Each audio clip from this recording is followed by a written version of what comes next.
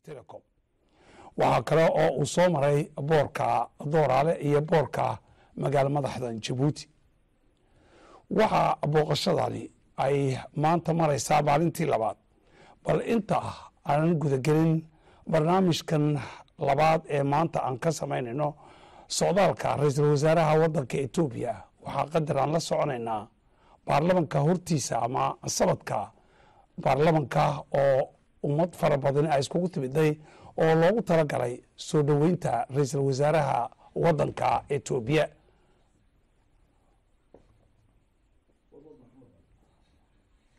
Booqashadaasi ra'iisul wasaaraha wadanka etoobiya uu ku tegayo baarlamanka waan ku soo noqon doonaa iminka bal waxaa aan qadar la socon doonaa iyada oo maalintii shalay uu yimiday ra'iisul wasaaraha wadanka etoobiya horta hadalka waxaan siinin saaxiibaday abubakar muuse casoowe iyo saaxiibkay cabdilla salaal waxa aan jecel lahay bal inay horta dib inoo yara xasuusiyaan arrimaha u waaweyn ee ra'iisul wasaaraha wadanka etoobiya uu u yimid dalkan jamhuuriyadda jabuuti abubakar maxamed waad mahadsan tahay in horta socdaalkan sidii aan horeyba u soo sheegnay waa socdaalkii u horeeyey ee rasmiya. Inkastuu ra'iisul wasaare ayle maryam dhasaalin hore u yimid jabuuti laakiin waxay ahayd munaasabado gaara iyuu ku yimiday mar boorka tujooro dhagaciisa la dhigayey mar maxay ahayd amuuro kale ay keeneen ama sababo tareenka dhagaciisa u horeeyey la dhigayey laakiin ka socdaal rasmi ahaan waa markii u horeysay in dalkeena uu ku yimaado waxaana ay qaadanaysaa sidii adiguba aad horey u sheegtay sideed iyo afartan saacadood. Waxaana labada madaxda labada wadan ay ka tahay qeyb wadatashiga joogtada ah ee ay ka leeyihiin isdhexgalka dhaqaale ee labada wadan ka wada xaajoodka xasiloonida iyo nabadda degmada gaar ahaan soomaaliya oo labada wadan ay qeyb xoogle kaga jiraan dagaalka lagu hayo. Isla markaana waxaan jecel lahay in ra'iisul wasaarihii soo degaya maalintii shalay. Sawiradina waan haynaa iyadoo ay iska kaashadeen labada wadan soomaaliya xasilinteeda iyo soo celinteeda cizigeedii maxay ahayd ee dowladnimo iyo weliba xiisada iminka dhowaan curatay koonfurta dalka suudan ka taagan qodobada kale ay ka soo wada xaajoodeen waxaa ka mid a in in amuro fara badan oo dan u ah labada wadan gaar ahaan isku xidhka xagga dhaqaalaha oo uu ka mid yahay dhibada tareenka xadiidka. Marsooyinka fara badan ee dalkeena ka socda oo macmiilka u horeeyay ay leeyihiin dabiiciga ay yahay dalka etoobiya iyo in libyaraynta heshiisyadii mataqaanaa hore dhex maray. Heshiiskii ganacsi ee horey u dhex yaalay labada wadan oo iminka la cusbooneysiiyo oo dib loogu bedelay mid kale. Iyo heshiisyo kale oo ay ka mid yihiin labada dhinac ay kala saxdeen oo ah toddoba oo haddii aan soo koobnaan odhan karno waxay ku saabsan yihiin xagga tabarta xagga ganacsiga cashuuraadka. Maxaan ku idhahda sidii loo sahli lahaa isku socodka dadka iyo hantidaba guud ahaan cabdalle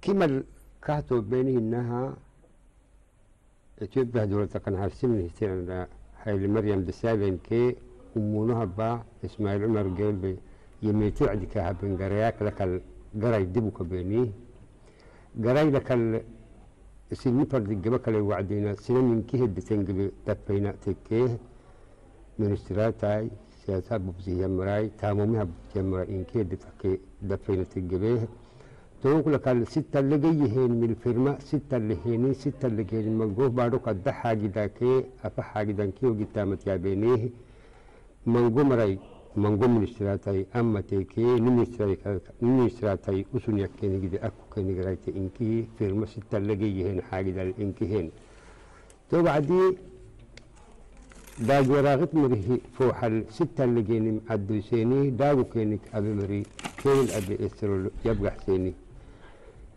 nanuki maadaak ediaba kasniyabkinii kimal tulle tekkenna inkiseniga xisnu moynamayi dagonka gaxsenohama tablenimkakinehe dowlad abba ethiopian harsiministeri kimal ede asitama gaba keni kalte kodri bir afdago kadda afdago asha keni heni to umunaha bah ariha daktento afdago eladhagenim asaaku tugaxteke asaaku saaku ugtee saaca sagaalyoke kodri lahaa mango hitaate wogitohgede mango hitaateke arxihe telekomilatanihtan arxaay lakalkaaduna doraale leyta marso inkih gadehgaxee awyi kaale cambalanam jabuutik shacbi magliso xakinee toorxala kadda kutba axeele kimal maxatekee maxal sitageeni inee sitalageenim kasinek mangomistekeni firuku lamarsuk fayda ede inayi itam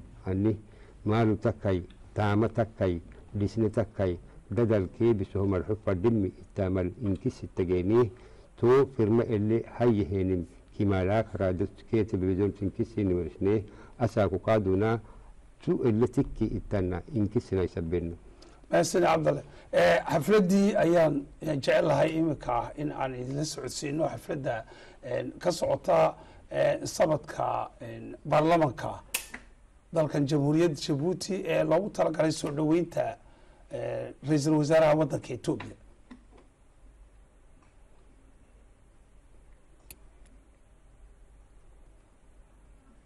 xafladdaasi oo loogu talagalay ra'iisul wasaaraha waddanka etoobiya oo maanta ama daqiiqado dabadood ka hadli doona baarlamanka dalkan jamhuuriyadda jabuuti. Waana madaxii labaad ee muddo kooban ama dhowr maalmood ah baarlamanka dalkan jamhuuriyadda jabuuti khudbad ka jeediya iyada oo madaxweynaha waddanka turkiga erdoganna uu markii uu yimid dalkan jamhuuriyadda jabuuti dhowaanta uu hadal ka jeediyey baarlamanka dalkan jamhuuriyadda jabuuti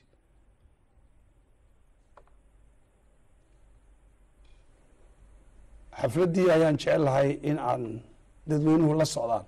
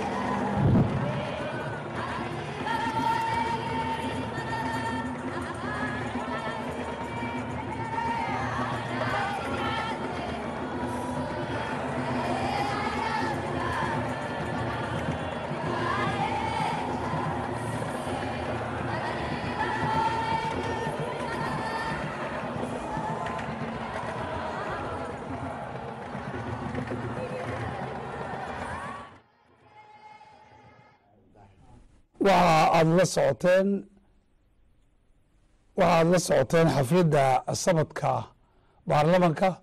Xafladdaasi soo dhoweynta ee loogu talagalay ra'iisul wasaaraha wadanka etoobiya bal iminka qadar han la soconno maalintii shalay markii uu ka soo degay ra'iisul wasaaraha wadanka etoobiya hayle maryam desalegn dhabaha diyaaradaha ee dalkan jamhuuriyadda jabuuti. Soo dhoweyntaasina waxay u dhacay sida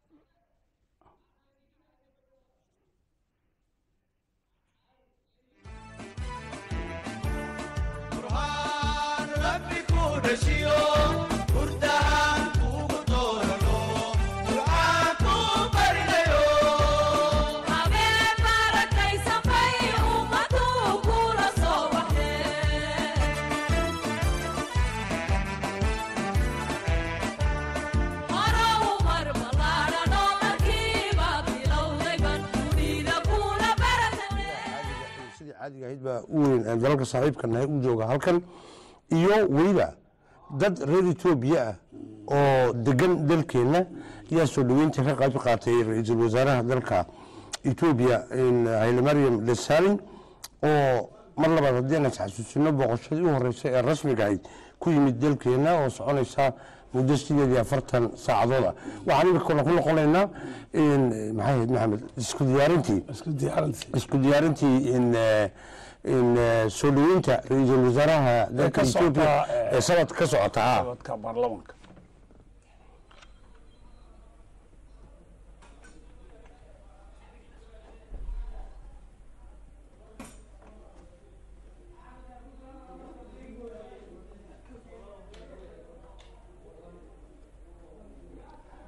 xafladdii ayaa eh, soo isku diyaarinta soo dhoweynta eh, ra'iisul wasaaraha wadanka etoobiya oo uu weheliyo madaxweynaha jamhuuriyadda jabuuti mudane ismaaciil cumar geele ayaa ka socota iyada oo madaxweynaha jamhuuriyaddu soo gaadhay baarlamanka dalkan jamhuuriyadda jabuuti oo iminka joogo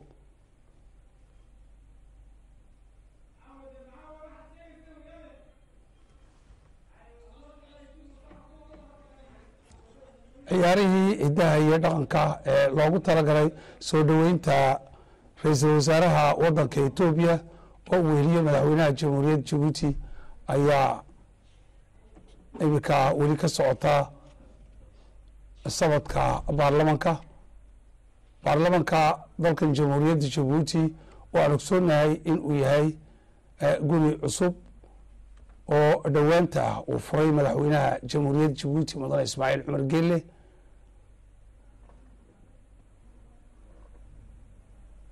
oo ka mid ah amuuraha waaweyn ee dalkan jamhuuriyadda jabuuti madaxweynaha jamhuuriyadda jabuuti uu ka hirgeliyey.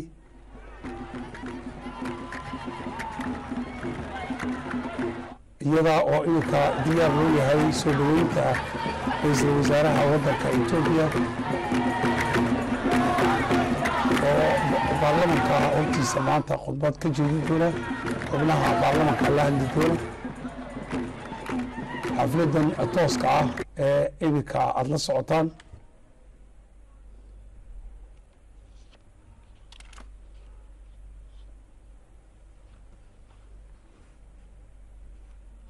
Waxaanaan jecel lahay bal inaad ka bogataan ciyaaraha hiddaha iyo dhaqanka ee halkaas ka socda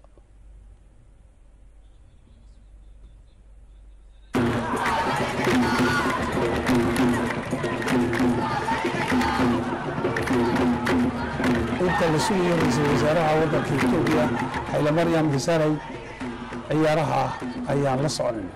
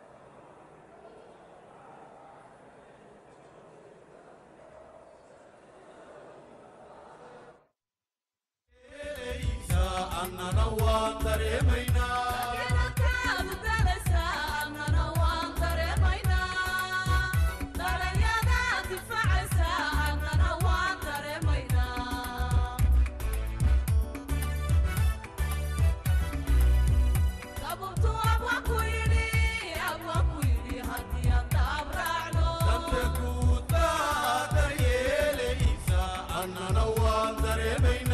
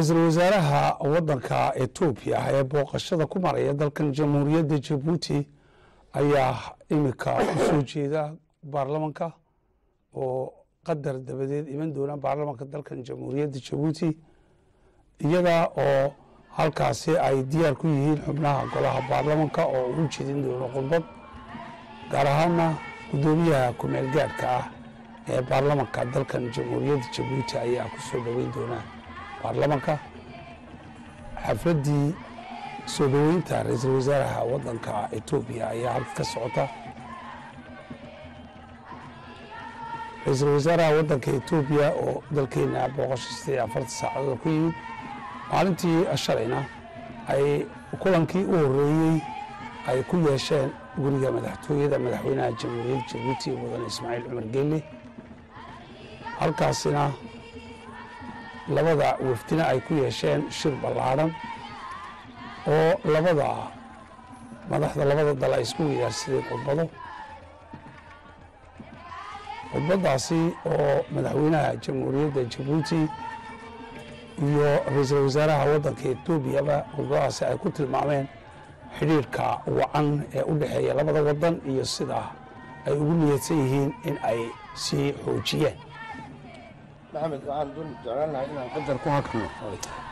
Macnaha ay samaynayso nin madaxa oo ama mas'uul madax waddan kala tegey oo lagu xurmeeyey in uu hadal ka jeediyo baarlamaanka waddanka in waa markii labaad horta waddankeena ka dhacdo horey waxaa saas loogu xurmeeyey ahayd socdaalkii bishii hore dabayaaqadeedii uu ku yimid dalkeenna madaxweyne rasib tayib erdogaanka dalka turkiga oo xiiseynayey qiimeynayey mataqaanaa in dalkeenna in uu la yeesho xiriir dhaqaale oo ballaadhan waa kii loogu ballan qaaday in degmo ka caagan cashuurta oo warshadaha iyo ganacsatada turkiga in ay ka howlgalaan haddaba etoobiya oo saas leeg xiriir ballaadhan aan la leenahay waxay yihiin labada hogaamiyeba laba hogaamiye oo dalkeenna iyo dadkeennaba xurmo gaara ku leh. Waa ta keentay in iyaga lagu qadariyo lagu maamuuso in wakiilada shacbiga ay la hadlaan.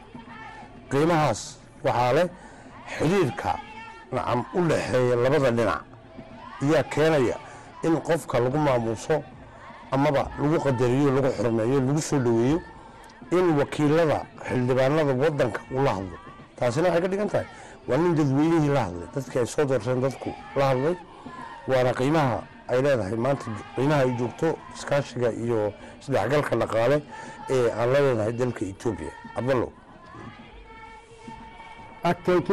lukadablima inki hagidii etoobiyana harsimetir nibaadho abaminutuy usuk nibaadho محاني بعد مقوري ما تمي كي تفايا كهرمان كي كيف نتم كدتي كمي إثيوبيا كجيبوتي نمدولتي تسود تلوك نغاي بيتا وعشرف السبقي مندوب بتتقي دبر تقين كي ستة لوك لمراي ستة لوك بسهيانا إنت لوك تامي تانا مرملوشتيني تهو قدامها.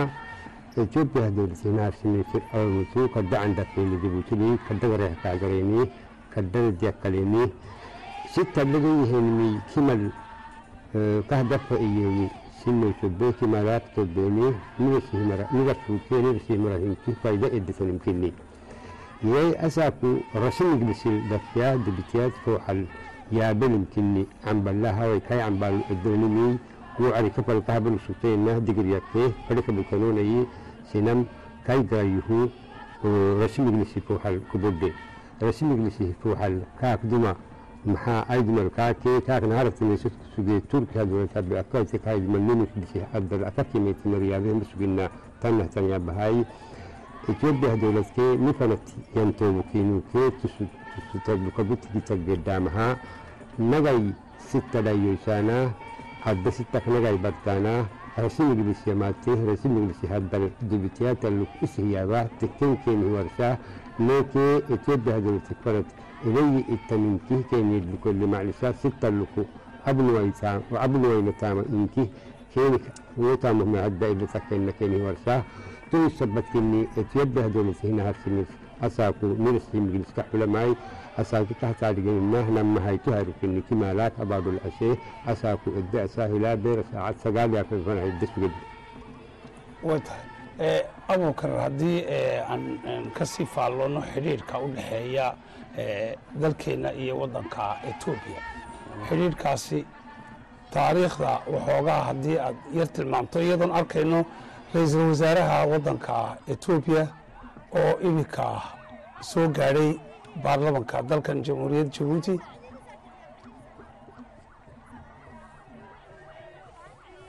maxamed waa warno xidhiidhka etoobiya iyo jamhuuriyadda jabuuti waa annagii hore waa mid soo jireena oo ka dhashay in marsada jamhuuriyadda jabuuti hore iyo dhabadii xadiidka ee tareenka ee isku xidhaysay labada wadan taasi waxa ay muddo soo jirtay markii dalkeenna gobonnimadiisa u qaatayna waxa ay u xoogeysay xidhiidhkaasi.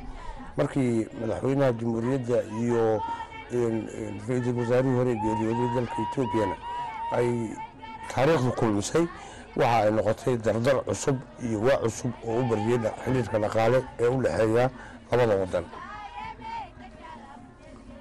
Waxaad arkaysaan soo dhoweynta wacan ee ra'iisul wasaaraha waddanka etoobiya loogu talagalay baarlamanka sabadka hortiisa ah iyada oo maanta uu halkaasi khudbad uu ka jeedi doono.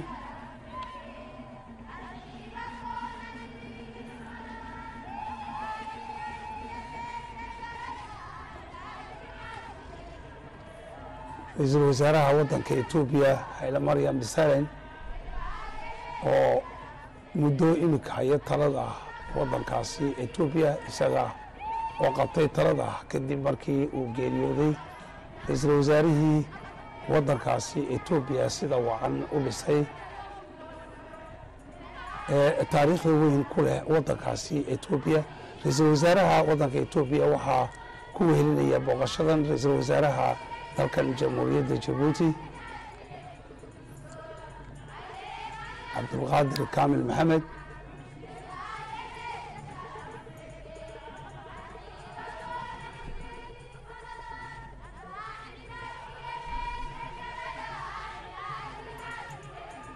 ciyaarihii hiddaha iyo dhaqanka ayuu iminka qayb ka mid ah ra'iisul wasaaraha waddanka etoobiya uu qadar jallaacay oo ula socdaa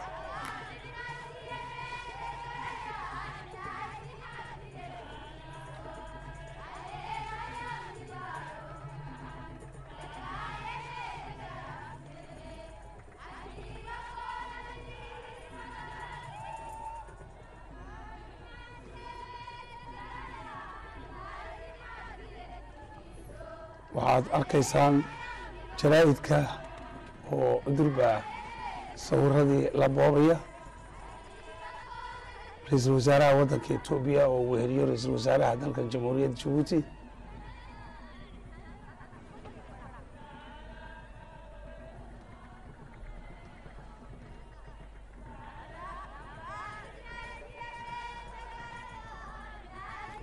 dhowaantana halkaasi ayuu hadal ka jeedi doonaa.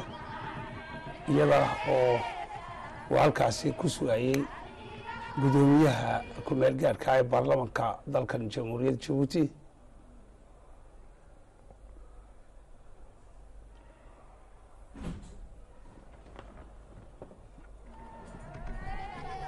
cutub ka tirsan cutubiyada dalkan jamhuuriyadda jabuuti ayuu salaan sharaf ka qaatay. Ra'iisul wasaaraha waddanka etoobiya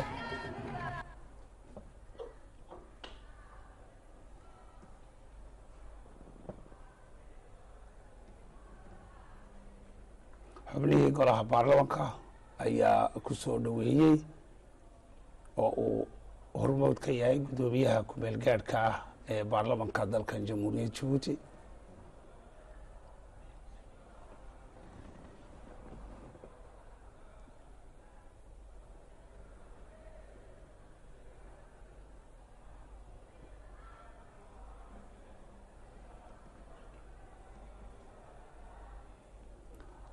khudbadaasi oo hubaal ay tahay in uu si cad oo ballaadhan ugu tilmaami doono xidhiirhka wacan ee u dhexeeya labada wadan jamhuuriyadda jabuuti iyo dalkaasi etoobiya oo ay inoo qaadaa dhigeen taariikhda si sidii ay ku soo bilaabantay abubakar muuse iyo cabdilla salaal iyo heerka wacan ee maanta ay marayso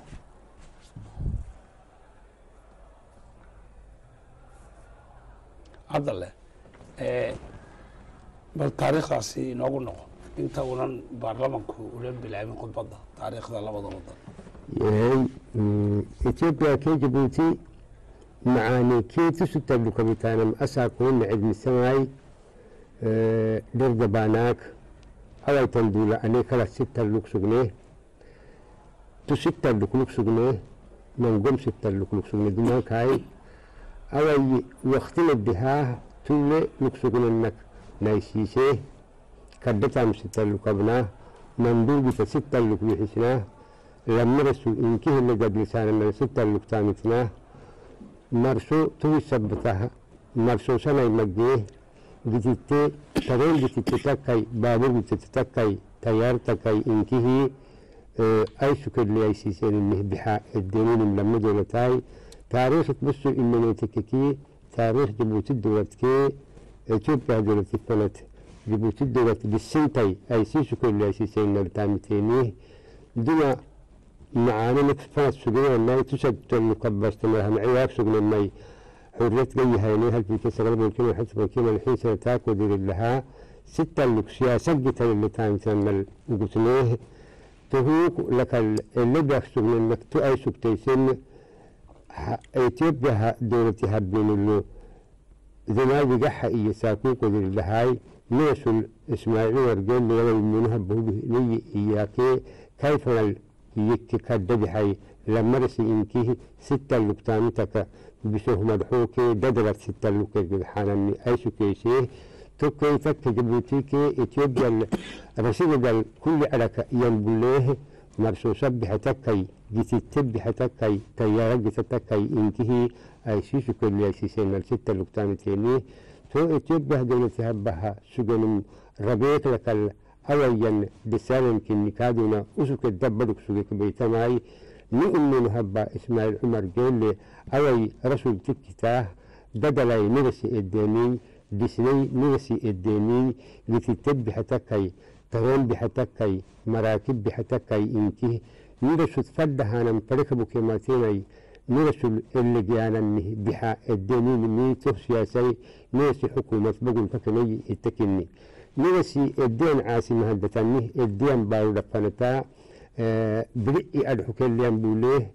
آه، فلنانم اللي جانا رسوليه تتبت كيعتين جلسي بعد الأبن الحكب الجلواناي قتل منوه مفقدا نقر الجيانة بدقي تكيماتوني برقي تكيماتوني تيارات كيماتوني اللي فرنان هن أفك ما تمري فردهم إنكيه أرحت اللي نومنا تو إنكيه كهب مسلم شبتين ناي نكتو دقوت الديني نؤمتك تامديتو إدتنيه فايدة رسوكي رشوك بدل الديني رسمرك فايدة الديني الدتني تنلا لما رسف مع لما رسف أب هاي إلى تامكلها نيكي كيس تلوك لك وهو نتني التبارو قال لك اللي تامت رميه بها دما كادونا أرحتيني هو مبح لما يجي دبك إتيوب هنا إتيوب كنسرة أتا. بيشو داني رسوك النوي جيبوتي كي توبا دفنت جوا ينساكو تسد تسد لكل أباستون وأنه ملت الدنيا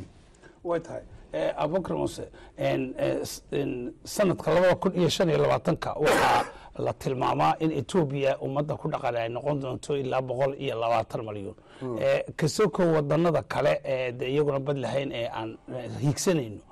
Taasi waxa ay tahay iyadoo madaxweynaha jamhuuriyaddu uu dareensan yahay in loo sii weer samaysanayo sidii loogu adeegi lahaa. Dalkeenu waa dhaqaalaha adeega ayuu ku dhisan yahay warna ilaa imka dee dhaqaalaha wadankeenu adeeg buu ku dhisayn sababta keentana weeyaan in la badiyo boorarka iyo mataqaanaa dhismaha qalabkii lagu adeegaasi ku salaysnaa inkastoo haddana iminka weji kaloo cusub uu la sahamiyey la sahamiyey. oo ah dalxiiska soo dhaweynta goobo ka caagan ama ama dhismaha goobo ka caagan cashuuraha oo goobo dhaqaale oo intuba suuro gelin kara in ay sida dalal turkiga iyo kuwo kale oo xiiseynaya dalkeenu inay ka faa'iideystaan goobta uu ku yaalla istaraatiijigeeda ilaahay dejiyey in ay warshado bilaabi karaan. Haddana adeegii adeegii waddankeenu uu ku dhaqaalihiisu ku saraysnaa wax kaba mooyaane isagii dee horta in la xoojiyo weyn wax kaloo kaba. In la helo way way wanaagsan tahay laakiin horta isagii la xoojiyo. Oo dee waa waa gunti dhaqaalaheena waa taa iminka mar kasta oo adeegaasi awooddiisu kor u kacana waxaa biiraya ama etoobiya boqol milyan ha noqoto ama inta ama kuwo kale oo dalal kale oo aan bad lahayn ka dambeeyaan ha ku soo biiraan. Waxaa biiraya awooddiisa howlgalka awooddiisa howlgalka biraamaya waa tii maalin hore aan lahayn mataqaanaaye iminka waddanka central africa. Alaab la geynayo oo lagala soo wareego cap de bonus france waa nagii tilmaamay. Halkan iminka madaarkan president guuleed allow naxariistee loogu magac daray. haddii laga qaadana saddex saacadood inay ku tagayso. Kolka adeegaasi haddii kolba kolka ka dambeysa xirfadiisa awooddiisa kartidiisa iyo howlgal howlgalka dhaqsi badnidiisa. Magaran haddii intaas laysla helo waxay noqonaysaa horta dhaqaalo sal adag.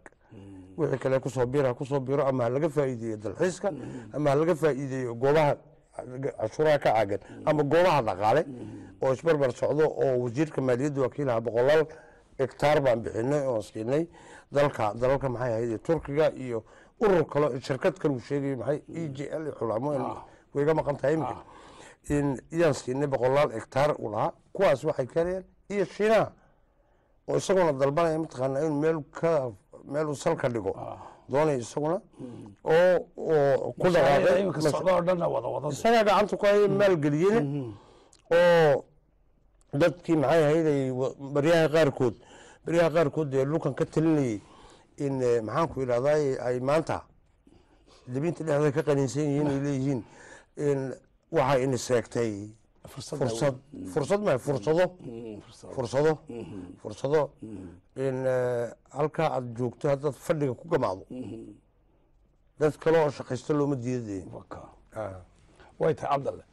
Gaar ahaan cabdalle waxaan jecelahay in aad waxoogaa ku noqoto halka dalxiiska iyo dalkeenu qaniga sida ugu yahay يي نبعده مري كهب بحمي منقوه يمات واسخته.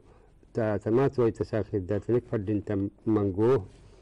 محيانا آه أدمر هبا تورستي إيانا ننو آه تورستي جتاكي تودقوت بارم مري تودقوت أيسو كليسيه أبنتا محاولة أسيسو كليسي سننا منقوم رلوكيني شينا اللوكتامتنا شينا أبارو تاما لن تاريني تد غين بارو كن نبره كن تمسسنا. جابون كادون ماي. كلا نكو عدك رأتا يمن تكيلا خليج بارو لك فنتا نيك يوم الفنتين كيه مقون تنديب كفر كهنا ليه تامسنا ماي.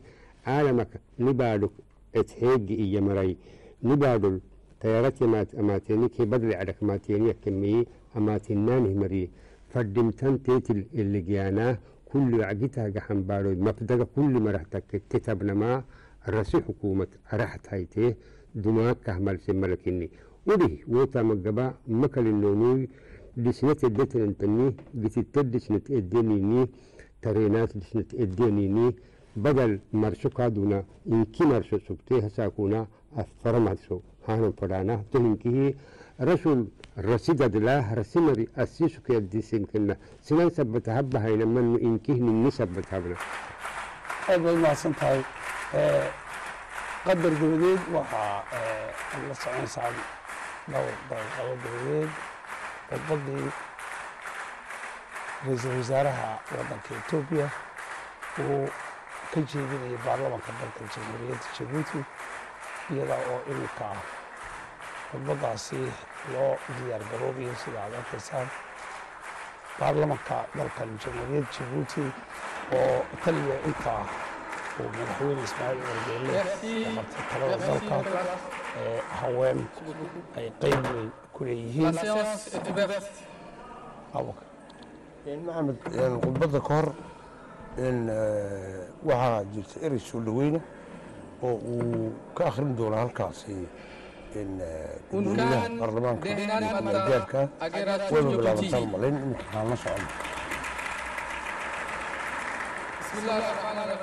Excellence, Monsieur le Premier ministre de la République fédérale démocratique d'Éthiopie, Monsieur le Premier ministre, Monsieur, Madame et Monsieur le membre du gouvernement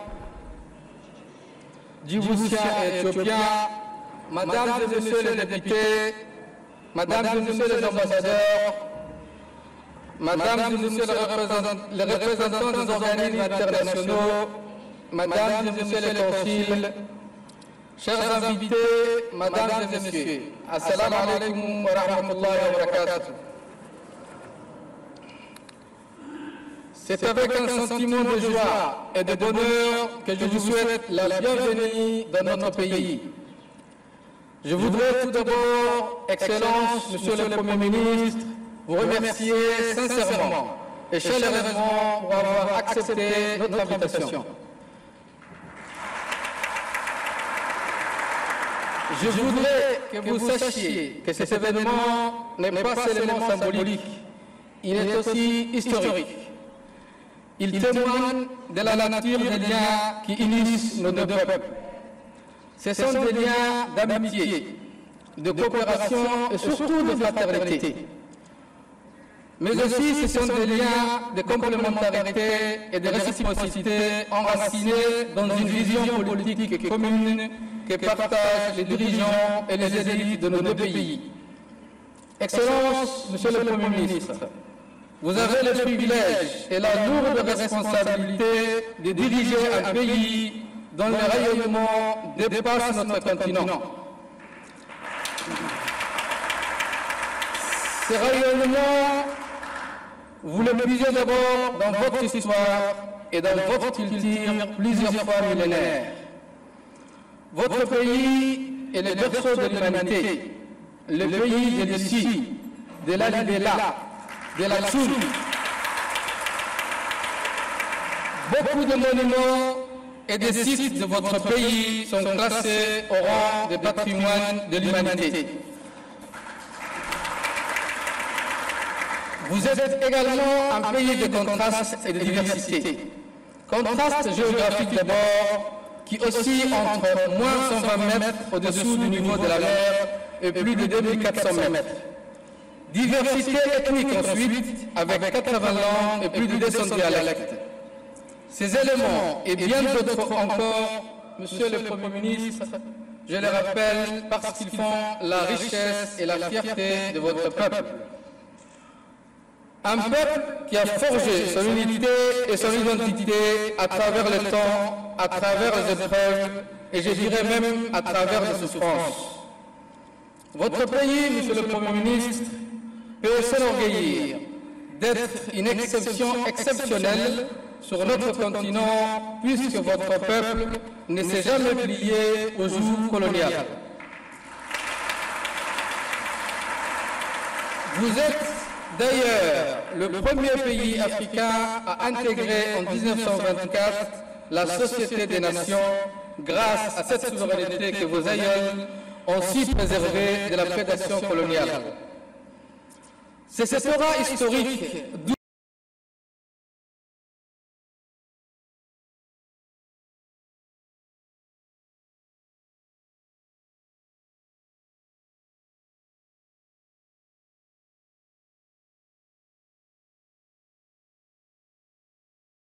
léegi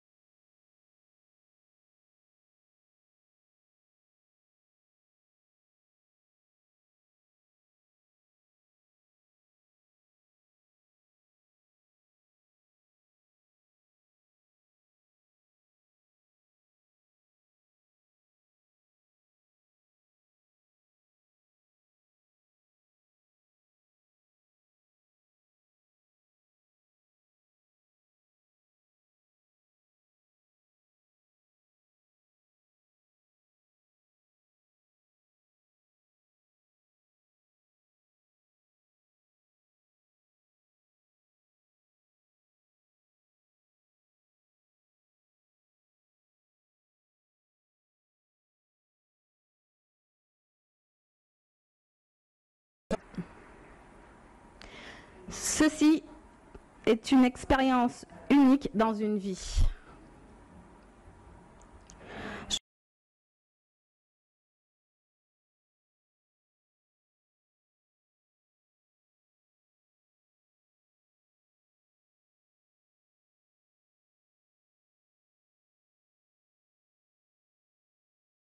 Je suis ici devant vous en tant que fervent croyant en notre destinée commune.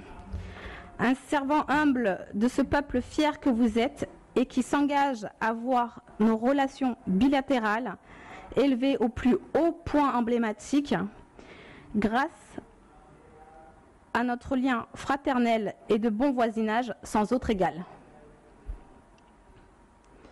Je suis également ici devant vous aujourd'hui en tant que défenseur enthousiaste d'une intégration régionale renforcée qui va au-delà des relations particulièrement exemplaires dont nous jouissons aujourd'hui. En m'adressant à vous aujourd'hui, mon objectif principal est, bon, protocole et formalités mis à part, un appel à davantage d'actions afin de répondre aux demandes récurrentes de nos deux peuples pour une coopération plus proche, une union sociale et économique plus importante et, qui sait, peut-être même une intégration politique plus étroite qui simplement et logiquement suit, découle de notre croyance et notre dévouement en l'accomplissement de notre destin historique commun. Je ne sais pas quel nom les scientifiques ou commentateurs politiques donneront à ce genre de rapport étroit, mais nous, nous y acheminons doucement mais sûrement. Parce que, après tout, c'est ce que nos deux peuples désirent passionnément, ardemment, et c'est ce que nos enfants méritent largement.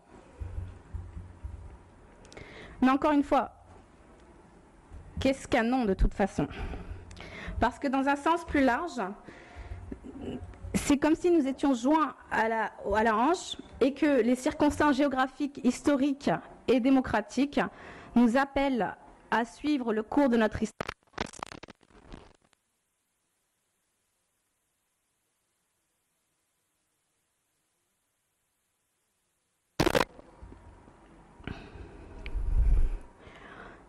Nous, comprenons très bien que nos destins sont liés.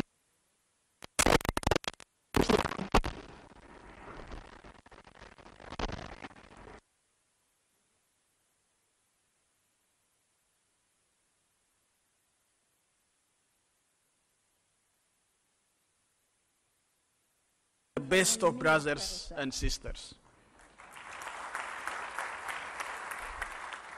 Despite the most concerted efforts by politicians to remind each other's people of the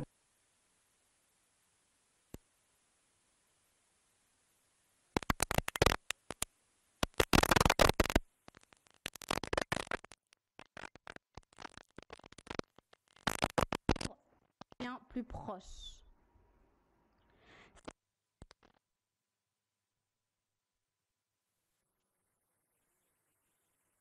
Frères et sœurs du-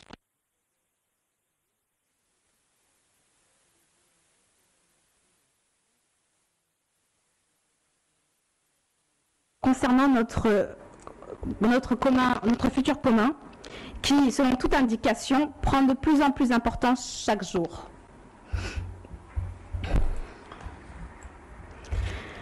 Excellences, mesdames et messieurs,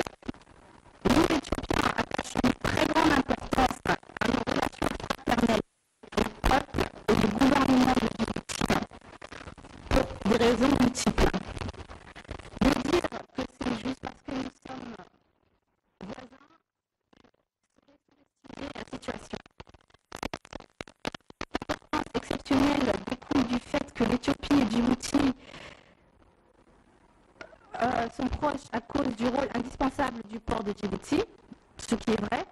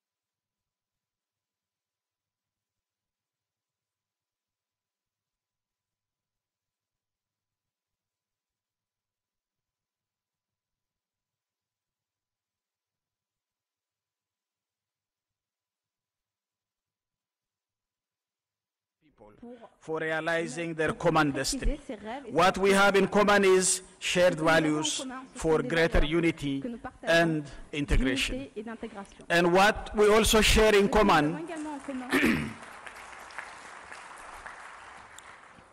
and what we also share in common is people who want to go to schools to get a full measure of education the two countries could really provide people who want to take advantage of assets, each has a relative abundance to the other.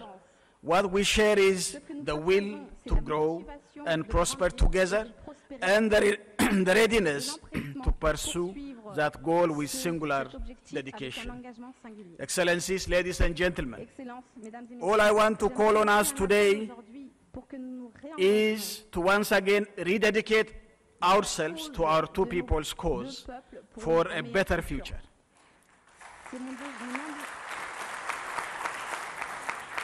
It is my humble duty to relay to you a message of Ethiopians' readiness to play their part of this responsibility to achieve this noble end. It is my hope and expectation that this will be duly reciprocated by our Djiboutian sisters and brothers.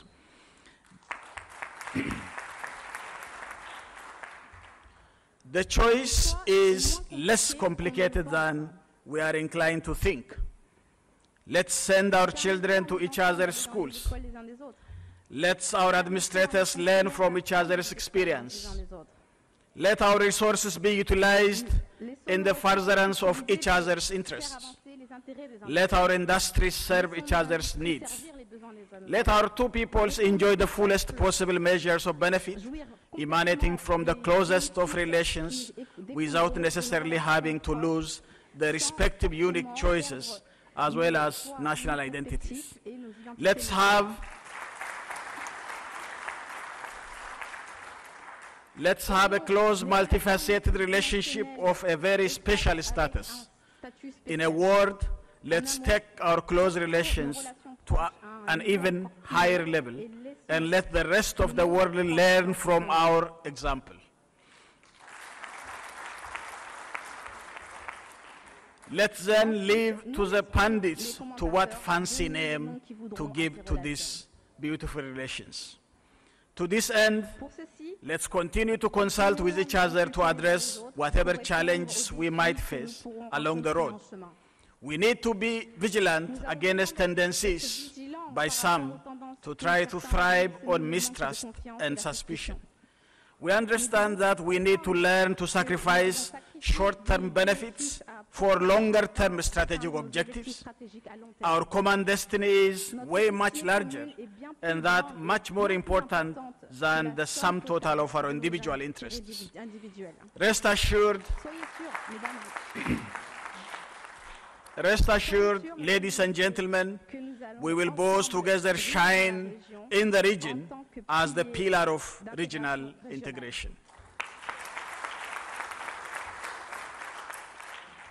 For us, this is an article of faith we are ready to nurture and defend at any cost.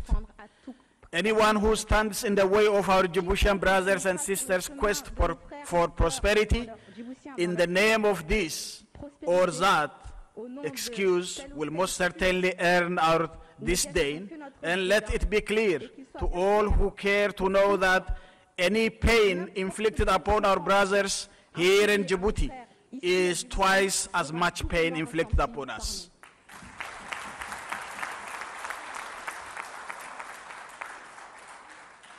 Let it be known by all who came, who care to listen that our two peoples have chosen to prosper together.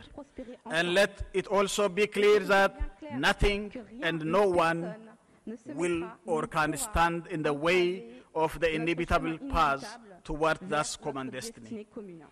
History.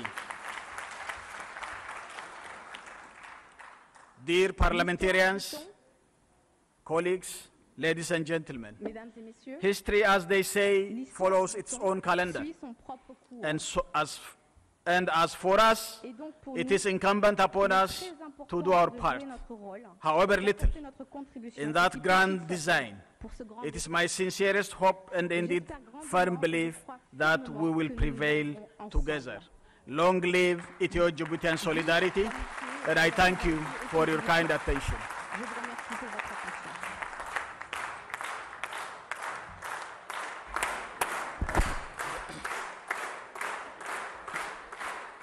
Merci, merci, merci. Avant de clôturer la séance, j'invite les parlementaires et les membres du gouvernement à prendre une photo de famille. J'invite les invités à prendre des cafés qui est servi juste derrière vous. Merci et la séance est levée.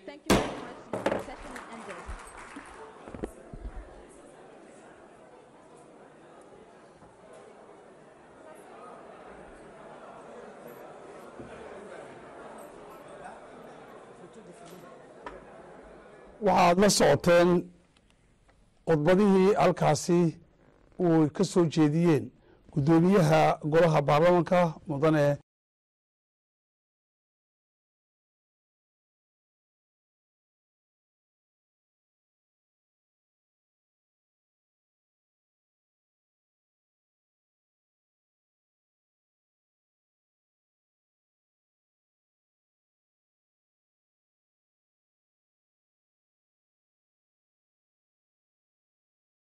maxamed cali xumed oo khudbad soo dhoweyn ah halkaasi uga soo jeediyey ra'iisul wasaaraha waddanka etoobiya hayla maryam desaleyn oo isaguna halkaasi markii dambe khudbaddii halkaasi ka soo jeediyey.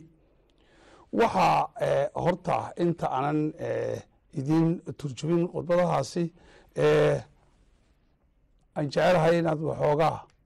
Khudbadihii ayaan waxoogaa idiin dulmaraynaa. Bo- in, turjumaadahoogii ra'iisul wasaaraha dalka jamhuuriyadda jabuuti da- dalka etoobiya sidii aan idiin tilmaamnay waxaa hadalka ku soo dhoweeyey guddoomiyaha kumeel gaadhka ee golaha baarlamanka mudane maxamed cali xumed waana hadalkiisii uu ku bilaabay. Waxa uu yidhi mudane ra'iisul wasaare waxaa horta aan kaaga mahad celinaynaa sida aad u ogolaatay ee aad noogaga soo jawaabtay martiqaadkii aan kuu fidinay mudane ra'iisul wasaare booqashadaadani waxa ay ka turjumaysaa xidhiirka wacan ee walaaltinimo ee u dhexeeya labadeena wadan iyo aragtida mid ah ee madaxda labada dal ay ka leeyihiin horumarinta iyo xidhiirka sii xoojintiisa mudane ra'iisul wasaare dalkaaga bilicdiisu waxa weeyaan mid aan ku koobnayn uun qaaradda oo ah mid adduunka oo dhan caan ku ah oo laga yaqaano waa bilicda sharafeedka waddankaasi etoobiya dalkaagu waxa weeyaan buu yidhi asaaska uumiyaha. Waxa uu leeyahay goobo yaab leh oo taariikhi ah oo galaya ama ku jira hantida bini aadanka ee caalamiga ah.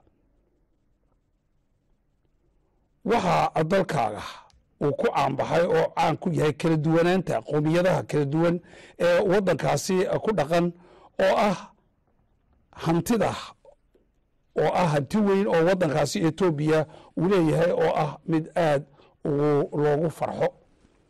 Waxaa ee guddoomiyaha golaha baarlamanku uu tilmaamay waddankaasi in uu yahay waddanka keliya ee ku faani kara in uuna arag cadaadis gumaysi oo ku biiray qaramada midoobay kun sagaal boqol iyo afar iyo labaatankii.